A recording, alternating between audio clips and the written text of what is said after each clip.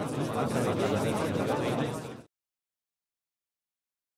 I look back as a boy, before I had language for any of this, I think I was directly connected as in that innocence of a young boy, and the world always spoke to me through metaphor. I don't know why. That's just I didn't even know that I didn't have that name, metaphor, as a boy. But whenever I was alone as a young boy, I wasn't alone. I was in a conversation with the universe and things around me, not in words, but when the wind would go through a tree, the, the pattern of that would speak to me.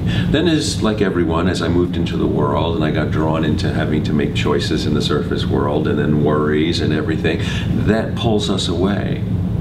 And then in my 30s, I think, you know, I always spoke about direct knowing. I always spoke about heart centered living. But I think I was more in my head until my cancer journey.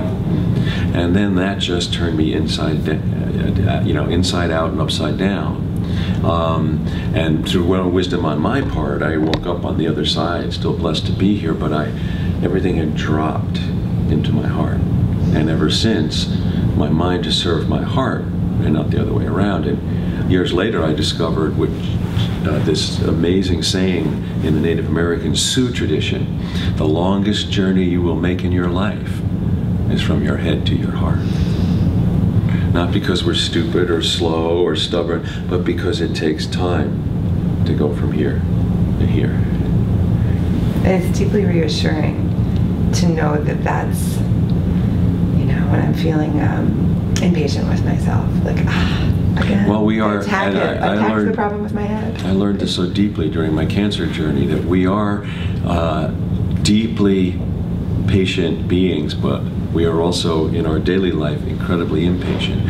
But patience, everyone, when they're dropped into the depth of life, will need to listen uh, reluctantly to the God of patience. And it, is a stubborn and wise teacher. If you think of those old, before we had digital cameras, you know, the original cameras, you would take a, a photograph, a plate, a, and it would have to be in a dark room, immersed in chemicals, and you have to wait for the image to show itself. And it's a great, that's a great metaphor. Because in a lot of ways, still, even though we have all these wonderful, I love technology, all these tools, but that's how it kind of works. You know, we experience things, and in the dark room of our heart, you have to wait for the wisdom and the learning and the insight to reveal itself. Every time has had to struggle with this. Mm-hmm. Um, the speed of the surface world versus the, the truth of the inner world. In our time, it's just accentuated because of all the technology. And there's nothing wrong. Technology, I believe, is inert, it's a tool. But if you don't meet the outer world with an inner world, doesn't matter, I don't mean you have it figured out, but that you're committed to what we've been talking about, and you don't find your own way of engaging in that, then the way water fills a hole, the characteristics of technology will become our values by default. And now we're fast and we're not in the same, we're in two places at once, and we're impatient, and, you know, we're split focus. And great love and great suffering have always slowed us down to remind us that no, you can only be in one place at one time.